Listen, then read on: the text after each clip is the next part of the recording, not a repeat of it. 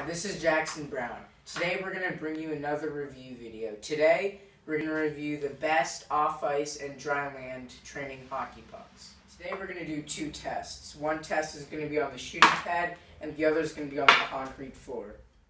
Here we have a rubber street hockey puck. I am not that confident using this puck. I did find that sometimes it rolls off my blade, but overall it's okay. Here we have the Green Biscuit Snipe. Overall, I've been really happy with it. Not only can you stick handle with it, but you can also shoot with the Green Biscuit Snipe.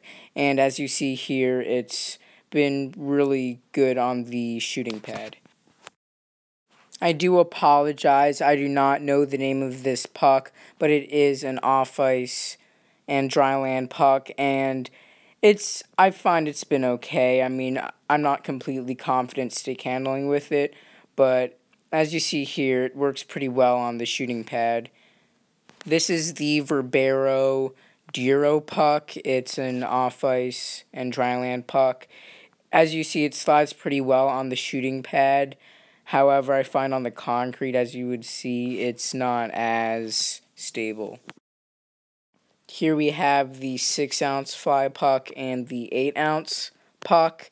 The 6 ounce puck is the same weight as a regular ice hockey puck, and the 8 ounce is heavier to work on your strength.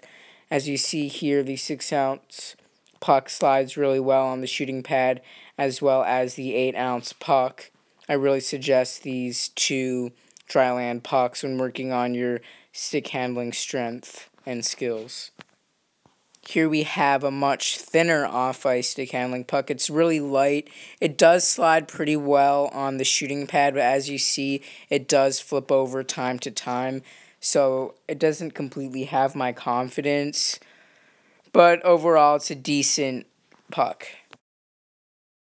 Here we have the hockey shot dryland puck. And as you see here, it's doing pretty well on the shooting pad test. However, it does flip over time to time, and it's not the same feel as some of the other pucks. Here we have the green biscuit. As you see here, it slides really well on the shooting pad. I really don't have any criticism to give about this puck.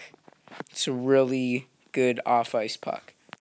Here again, we have the rubber street hockey puck. As you see, it's doing all right on the concrete.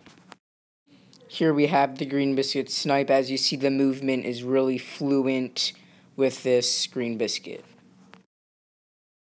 Again, I want to apologize. I do not know the name of this puck, but it's moving pretty well on the concrete.